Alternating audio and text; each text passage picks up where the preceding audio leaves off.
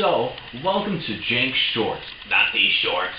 This is where I play games, make music, play video games, all that fun stuff. Second, I'm going to be doing how-tos and reviews.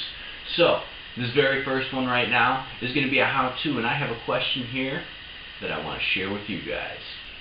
How do you get your pictures on your cards? So, that is a very great question. How do I get my pictures onto my cards? Well, there's two ways you can do this. And I'm going to show you. So the first thing you can do, you can take your picture right here, and you can use it on your printer. And not so much your printer, but your scanner. So all you do is get, get that there. Just take it, you slap it down, and then you scan it. Two things I don't like about this method. One, pictures, in my opinion, don't really come out very well. When I go to scan it, it doesn't seem like it's very good quality. Number two, it's next to the poop box for the cat. Alright, so the second way we can do this is we just simply go outside. See that mound? That mound is where I take all my pictures. I walk over to this mound, and I come to my books.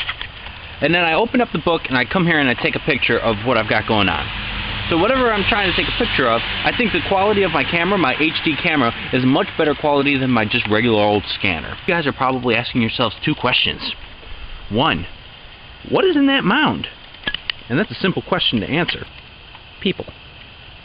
And then your second question, probably a little bit more concerning. Why do you have people in a mound? well, that's pretty easy as well. And that's because... Uh, there was a firefight!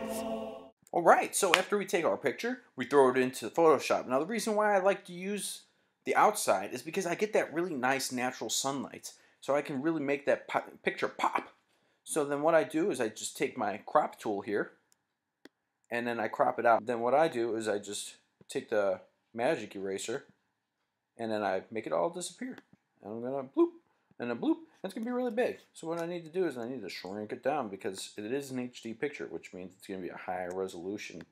So what I do is I just take it, make it fit to the card, and boom, right there. Boom, pow, pickle. And there you have it. You pretty much just take your cards then. You want to make a template out of them. Try to put as many on a page as you possibly can. And then just print them out. I prefer a laser printer on a very hard cardstock. But seriously, you can pretty much just print them out on a piece of paper and call it a day. So, please like, subscribe, and comment down below. I apologize for not coming out with anything crazy in a couple days, but I do want to let you guys know that I do want to start these shorts. I want to let you guys know how, how I do things. Also, I also want to let you guys know about new games and do some reviews. I got Pathfinder over here. I got Ascension over here. I'm blah, blah, I got it all over the place. So, please, just like, subscribe, and comment down below.